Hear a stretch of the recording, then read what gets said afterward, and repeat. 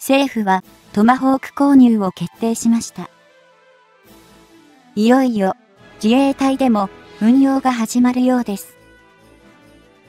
今回は潜水艦でのトマホーク運用方法について考察していきたいと思います。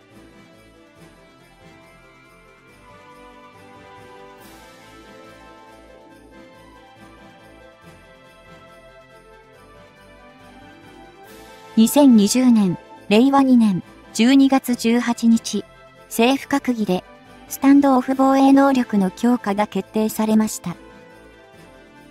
人認識地対艦誘導弾をさらに長射程化し、多様なプラットフォーム、自発型、間発型、空発型からの発射能力を加えた人認識地対艦誘導弾能力向上型の開発を決定したのです。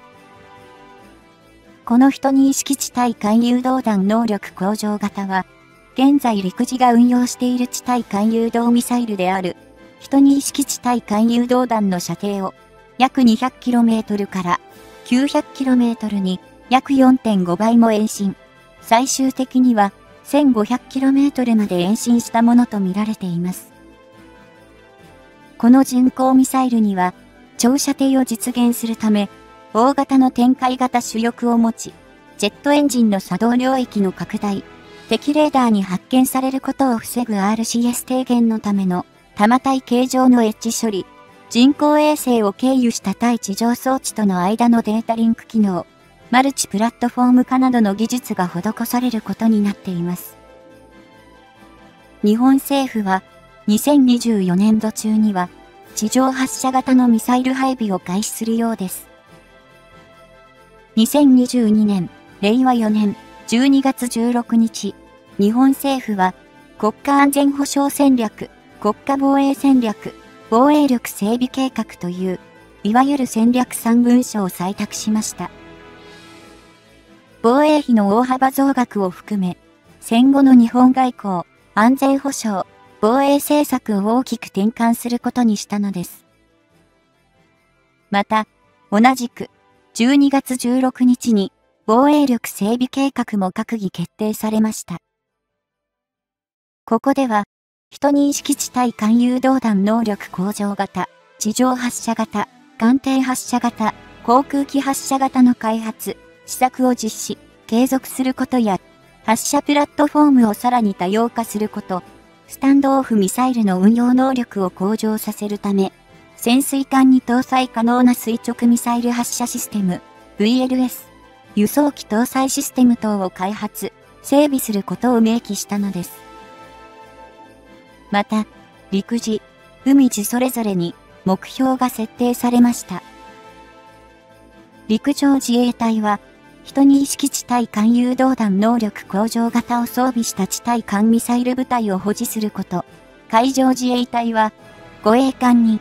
人認識地対艦誘導弾能力向上型などのスタンドオフミサイルを搭載。また、水中優勢獲得のための能力強化策として、潜水艦に垂直ミサイル発射システム VLS などを搭載した上で、スタンドオフミサイルを搭載できる垂直発射型ミサイル搭載潜水艦の取得を目指し、開発することも明記されているのです。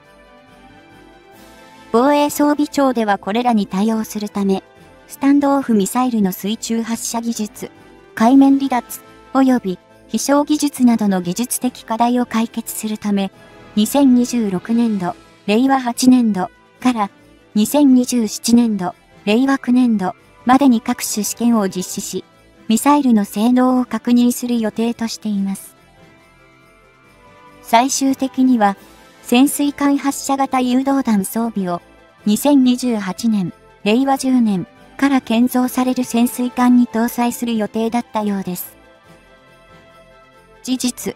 防衛装備庁は2023年3月13日、潜水艦用垂直誘導弾発射システムに関する技術検討業務を報告し、技術検討を担当する企業を募りました。つまり入札ですね。この技術検討とは、名前の通り、潜水艦の船体から垂直に巡航ミサイルを発射することを視野に入れた検討の一環とみられ、広告文には、国産潜水艦に適合する VLS、垂直発射システムの設計、製造にかかる技術課題、課題解明のプロセス等の検討と表記されています。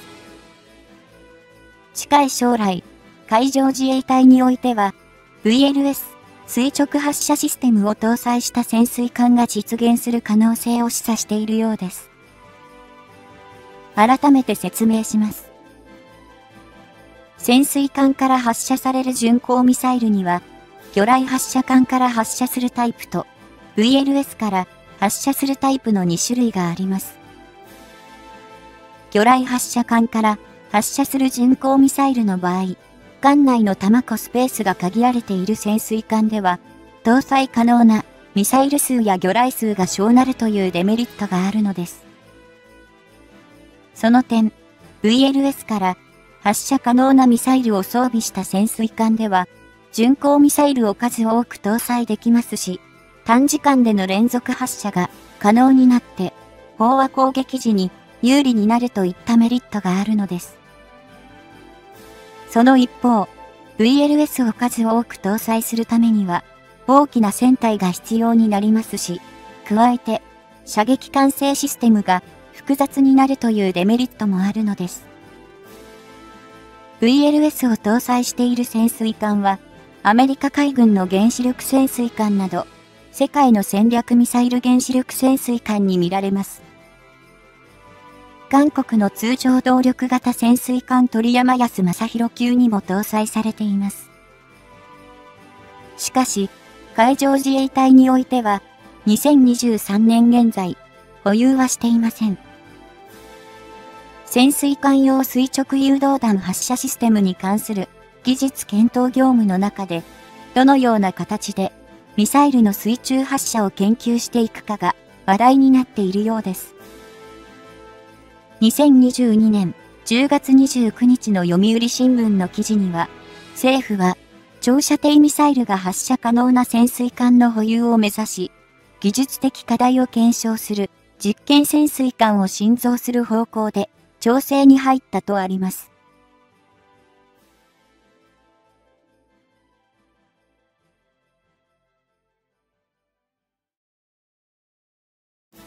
しかし、それでは、時間がかかりすぎるという課題があります。だったら、現在保有している潜水艦で試験を実施すべきではないかという意見があるのです。2023年現在、海事の最新鋭潜水艦は、通常動力型潜水艦としては、世界トップレベルの静粛性と先行能力を誇る対芸型で、1番艦対芸と2番艦は区芸が収益していますが、ネームシップである一番艦対芸派当初建造中から試験潜水艦として種別変更されることになっていました。今までは収益中の潜水艦に新しい装備を搭載する場合、持ち回りで試験を担当していたのですが、稼働日数が減るので、任務の割り振りが難しくなっていくという問題が発生しました。そこで、試験日数を短縮させるという狙いもあるそうです。そのため、この体芸に VLS を搭載して試験することで、より早く試験ができるのではないかという意見があるのですが、やはり、いくつかの問題は指摘されています。現時点では、体芸は、横須賀基地の第2潜水隊群第4潜水隊に所属しています。もちろん、試験潜水艦に種別変更されていないので、対芸で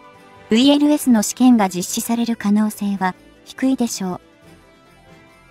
また、人に意識地対艦誘導弾の全長は 5M で、アメリカ製の艦隊地巡航ミサイルトマホークなら長さ 6.25M ですが、トマホークよりもよりも、射程が長い人に意識地対艦誘導弾能力向上型では、全長が 7M から 8M にもなる可能性があるのです。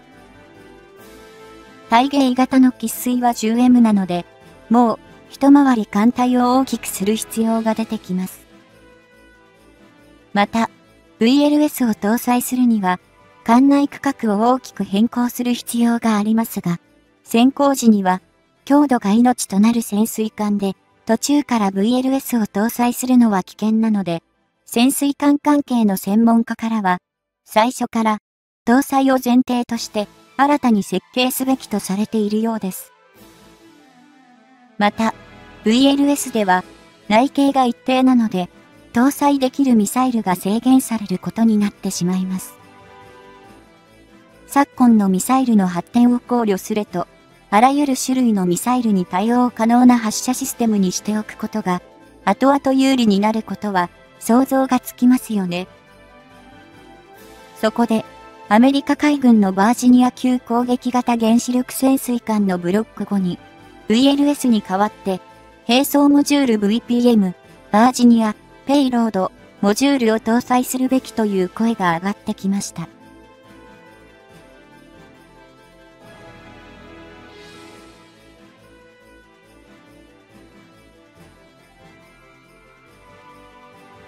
固定式の VLS ではなく、バージニア級原潜ブロック3以降から採用されたバージニアペイロードチューブ VPT、あるいはブロック V 以降での採用が始まった新しいバージニアペイロードモジュール VPM のようなモジュールチューブ方式を採用するということです。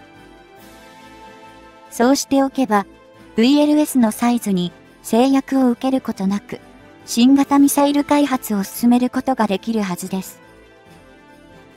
しかも、特殊部隊の出撃、回収に必要なエアロックや水中機材を保管するための格納庫としても活用できますし、最近注目を集めているブラックビングなどの水中から発射できるドローン航空機を導入することになったとしても、対応は可能になると思われます。VPT は直径 2.2M のミサイル発射管に複数のミサイルを収納可能な艦 MAC を挿入したシステムで、MAC には6本の発射管があり、それぞれトマホークが装填可能です。トマホーク以外のサイズの異なるミサイルを搭載する場合は、MAC ごと入れ替えることになります。また、VPM は VPT を4本直列配置したモジュールで、VPM 用の MAC にはトマホークを7発挿入できるので、4×7 で合計28発が装填可能とされています。これらは、バージニア級からトライデント用の VLS を回収して搭載されたため、その名前にバージニアと冠されているのです。前世の名前を継続して使用しているということですね。以上、前述の通り、日本の潜水艦から長射程巡航ミサイルを垂直発射するのであれば、時間がかかるとしても、これらを搭載した新型潜水艦を設計することが得策と見られています。